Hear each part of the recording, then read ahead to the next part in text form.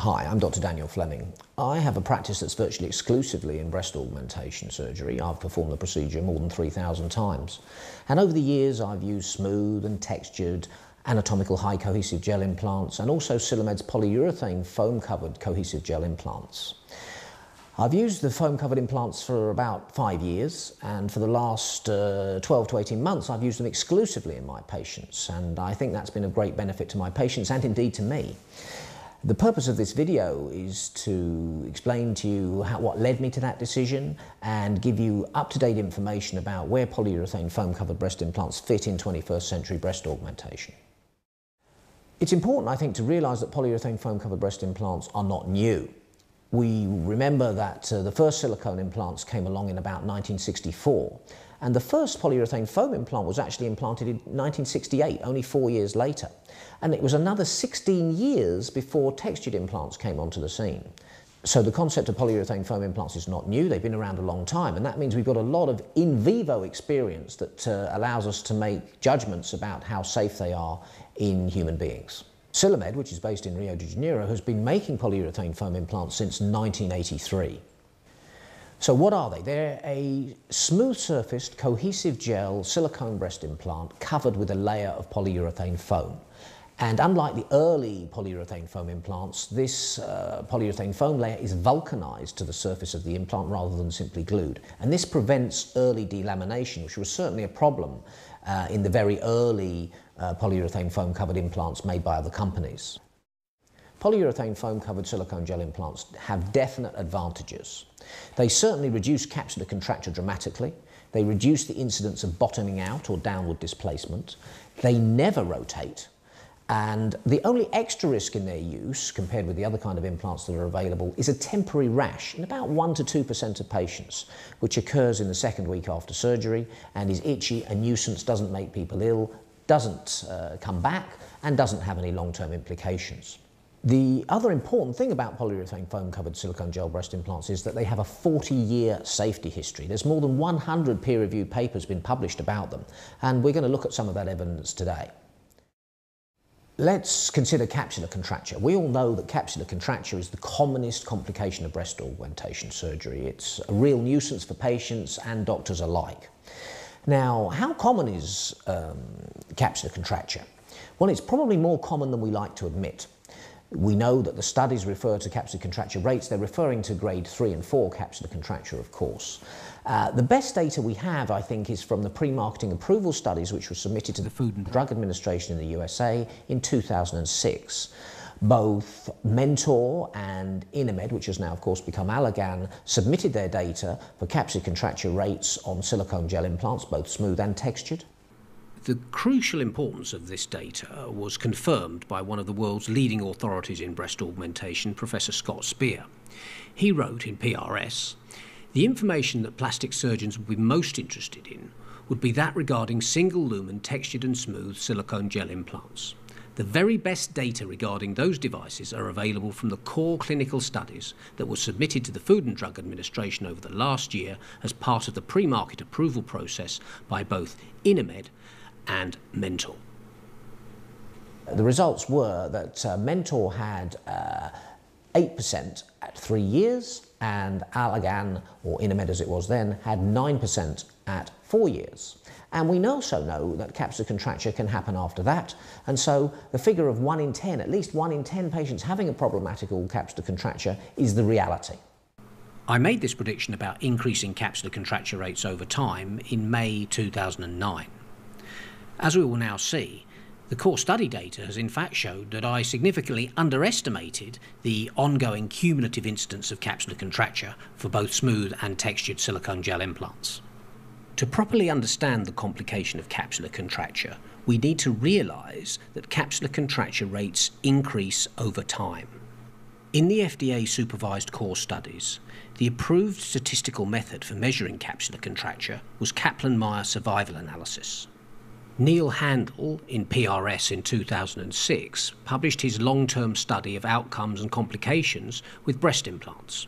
This showed that curves from Kaplan Meier survival analysis revealed that capsular contracture is a progressive phenomenon, and the longer any group of patients is followed, the greater the cumulative risk of developing contracture.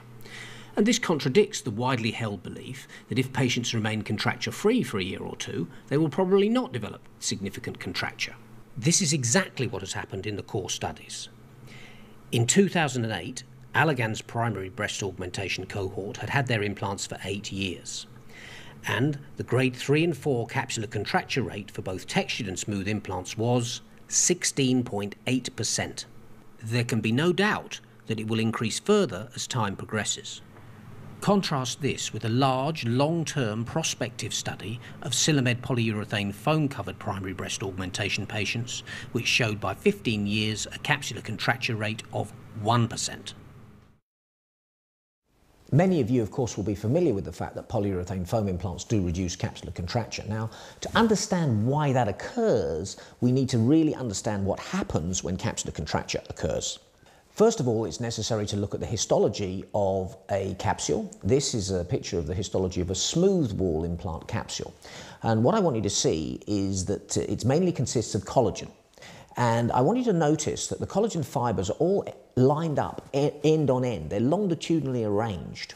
Now, what this means is that if a stimulus to capsular contracture comes along, and there are many of those, we don't know what all the causes of capsular contracture are, but we do know it's multifactorial. If a stimulus to contract comes along, those collagen fibers can slide over one another in a longitudinal fashion. And that has the effect of shrinking the capsule, like shrink wrap, around the implant concentrically, contracting it, making it feel firm, hard, or making it go out of shape. Now let's have a look at a capsule from a textured implant. We've stained the collagen pink on this occasion, but we can see that the architecture is fundamentally the same.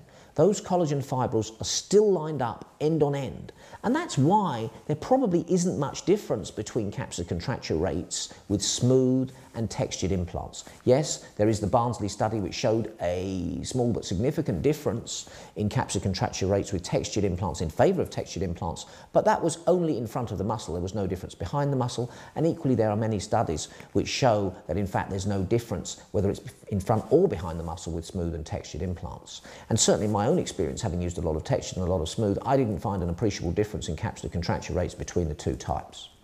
This has been borne out again by the pre-marketing approval studies, which have shown no difference in capsular contracture rates between smooth and textured implants.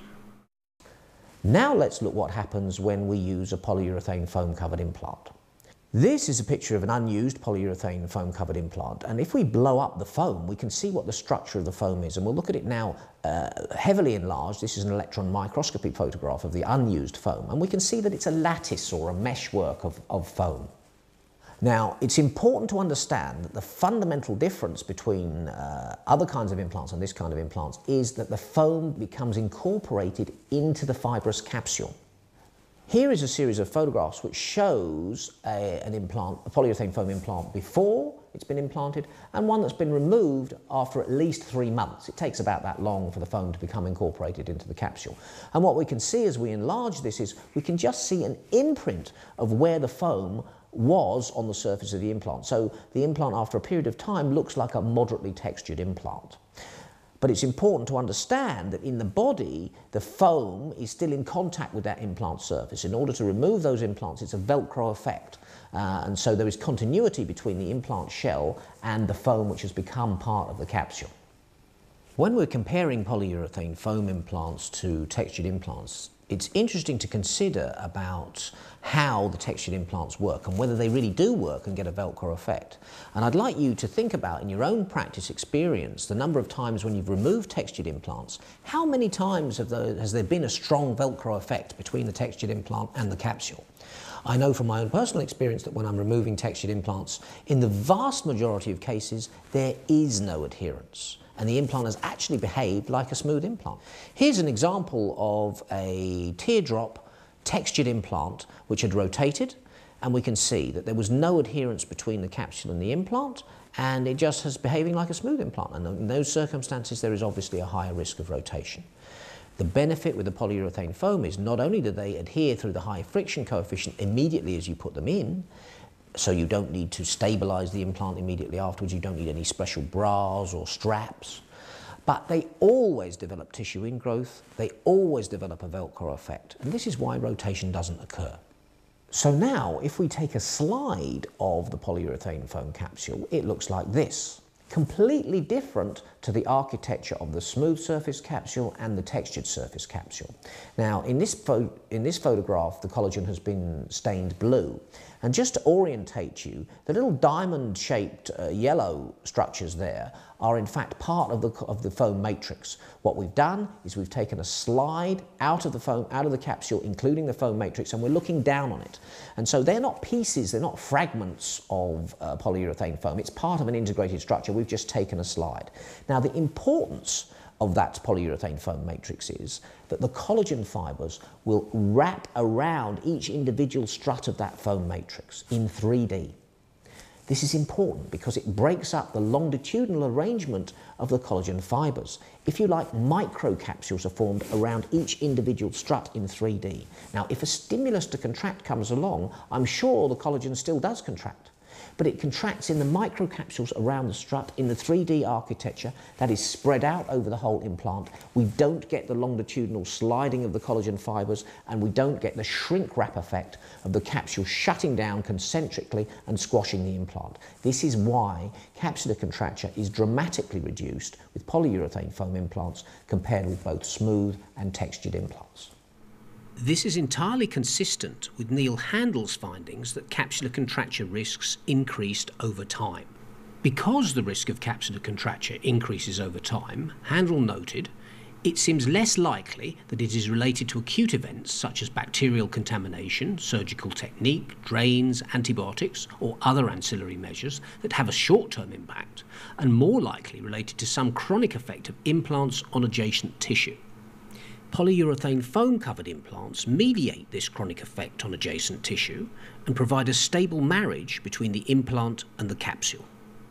Once we've implanted a polyurethane foam implant into patients, there's quite a strong inflammatory response as the body reacts to that polyurethane foam and removes it from the surface of the implant as the capsule is forming. There's marked inflammatory cell infiltration with macrophages, giant multinuclear cells, and they form these micro, microcapsules around the collagen struts which become collagenized. This capsule that's formed is actually a thicker but spongy capsule. It's soft, uh, and this, of course, adds to the uh, beneficial effects uh, cosmetically for our patients. You will recall that we mentioned in the evolution of implant technology that foam predated texturing. In the late 1980s, polyurethane foam had a very significant part of the United States market, perhaps 20 to 30 percent, uh, and manufacturers developed texturing as a response. Here is electron micrographs of unused foam and of a BioCell implant. And you can see that the structure superficially is the same. Uh, and that's why uh, it was thought that the texturing would replicate the uh, effect of the polyurethane foam. But of course, the texturing always remains on the surface of the implant. So at best, it can only affect those fibers that are right at the surface of the implant, on the implant surface. It cannot affect the full thickness of the capsule wall, which is seen to be necessary to get the big reduction in capsular contracture rates. We're all aware that there have been criticisms of polyurethane foam implants. Uh, most of these criticisms have in fact over time shown to be misplaced and it's important that we spend some time going through that so that you can become aware of what the actual evidence shows. Cancer, of course, was the, was the worry, and we've all heard that the polyurethane foam can break down into substances that may cause cancer in patients. This is not true. It is absolutely not true. I'm going to show you now how that information is not true, was never true, how it came into being, and you will have a complete understanding. First of all, polyurethane foam has never been shown to be carcinogenic in any species, including the cancer-prone rat model. Polyurethane foam has been approved in breast implants for unrestricted use in Europe, in Australia, and many other jurisdictions. The Health Protection Branch in Canada has stated that women polyurethane foam implants have no raised increased risk of cancer, and even the FDA in 1995 said there was no significant risk. Let's examine then uh, in some detail how this came into being. Polyurethane foam is made from a polymerization of 2,4 and 2,6 toluene diisocyanate. And the early studies showed the presence of very low concentrations of a breakdown product called 2,4-toluene diamine, 2,4-TDA. It was found in the urine of some patients in very low quantities, but interestingly and very significantly, it was never found in their blood. Now, 2,4-TDA was known to be a carcinogen in high doses in rodents, although not in humans. 2,4-TDA has never been shown to cause cancer in humans, and there are two epidemiological studies which show that uh, exposure to high doses of 2,4-TDA in industry, in industrial uh, applications, uh, cause no increase of cancer of any kind in human beings. It's important to understand that in fact 2,4-TDA is not a significant breakdown of polyurethane foam covered implants. In vivo, polyurethane foam is broken down slowly over many years by inflammatory cell esterases. And we can see this uh, when we look at the uh, polyurethane foam electron micrographs of the unused foam and of the foam after six years. The struts are slightly thinner because they are being broken down. Now what happens when they're broken down? What actually is produced? Well, harmless oligomers are produced. That's what actually happens. In the early studies, 2,4-TDA was found in small quantities in the urine of some patients who had had polyurethane foam implants but it was never found in their blood. And it turned out that the reason for this was that in the preparation of the urine of those patients, they were exposed to six times normal hydrochloric acid, something that obviously doesn't happen in vivo. And what that hydrochloric acid did was it broke off 2 to 4 TDA from the harmless molecules that are produced as a result of the breakdown of polyurethane foam. So that's why it was never found in the blood, but it was found in the urine of these patients whose urine had been exposed to very strong concentrations of hydrochloric acid. When this was realised, an FDA-sponsored study was done to try and determine the truth of this. And this showed that, in fact, in vivo, no significant quantities of 2,4-TDA are actually produced. So, in summary, first of all, 2,4-TDA is not produced in human beings in vivo who have polyurethane foam covered breast implants. And in any event, 2,4-TDA doesn't cause cancer in humans. So it was all a furphy. Of course, we have many hundreds of thousands of women who have had polyurethane foam implants out there in the community for decades, and there has been no increase in cancer in that group. Entirely consistent with what we now know to be the real science. So we can be absolutely certain that there is no carcinogenic effect from polyurethane foam breast implants. Another criticism of polyurethane foam implants was that uh, they would have higher infection rates. In fact, that turned out not to be true. Handel's paper in PRS in 2006 and Vazquez's paper uh, reviewing 18 years history of using Silimed implants showed that there was in fact no increase in infections and no increase in late infections either. The evidence shows that with late infections, most will settle with simply removal of the implant. But because there is foreign body material in the capsule, you may need to do a capsulectomy as well in the rare occasions when that happens. It is important to understand, though, that if you do get an infection with a polyurethane foam implant, and as I say, it's no more common than with any other implant, remove the implant early because the earlier you remove it, the less polyurethane foam will be incorporated in the capsule and the less capsule will need to be removed. Another criticism that I often hear is, oh yes, these are good implants, but once you put them in, you'll never get them out. It's really difficult to remove them. Well, this is not the case. This uh, criticism is often made by people who've never actually tried to do it, and they've heard that and repeated it, and it's simply not true. I have removed polyurethane foam implants for various reasons, from as short a period of time as one day to as long a period of time as 16 years. And in most cases, it is a simple, straightforward pr procedure. Here is a video in real time of me removing a polyurethane foam implant, which had been in for two years, and the total removal time is 33 seconds. Sure, on some occasions it's more difficult than that, but in some occasions it's more difficult with uh, textured implants. Sometimes you'll need to use needle point diathermy to separate the capsule from the implant surface. But uh, I've never had a case where I wished I'd not used a polyurethane foam implant because it needed to be removed. It's simply not a major concern. We've included in the menu of the DVD full-length real-time videos of slightly more difficult removal of polyurethane foam implants. There's been a concern that these kind of implants might cause an increase in seromas, but uh, Vazquez's paper, published in Aesthetic Plastic Surgery in 2007 with an 18-year history of using Silimed's polyurethane foam implants, showed that in fact there was no increase in seromas compared with other implants. What about ruptures? Silimed's polyurethane foam covered implants are filled with gel that's sourced from applied silicone. This is a different company to the source company that most other implant companies use. And the gel that Silimed uses is both soft and cohesive, and this is a very nice combination. Uh, it's important to understand the difference, I think, between cohesiveness and hardness. We mustn't uh, think that those two are the same thing. They're not. If you think about um, a wine glass, for example, a wine glass is very form stable, very hard, but it isn't very cohesive. If you drop it on the floor, it shatters into many, many pieces. If we think about a piece of chewing gum, if we take that out of our mouths, it's less form stable than the wine glass, though still fairly form stable. It's certainly softer. And if we throw that on the ground, it will remain together because it is fundamentally cohesive. So hardness and cohesivity are different things. And Silimed seems to have a very nice combination of softness of gel, which is obviously desirable for aesthetic purposes, and cohesivity. Here is a video of uh, removal of a leaking Silimed polyurethane foam covered implant which had been in for about two and a half years. The patient had uh, experienced uh, a very severe blunt trauma injury and we can see that the capsule is completely shattered uh, and this had occurred at least two months previously. The gel however is behaving in an extremely cohesive manner.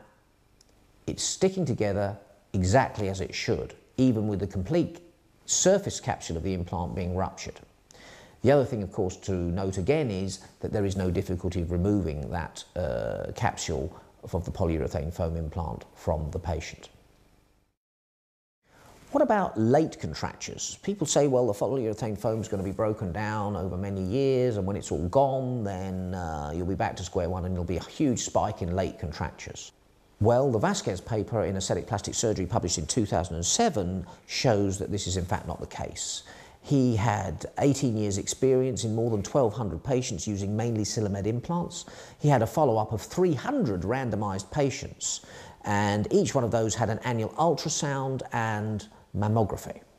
Dr. Vazquez followed up 300 of those patients at five years. He still had 250 to follow up by 10 years and 180 at 15 years. So this was really very high quality data. And this showed that in fact the capsular contracture rate was still only 1% at 15 years. Rippling. People have thought because it's a very textured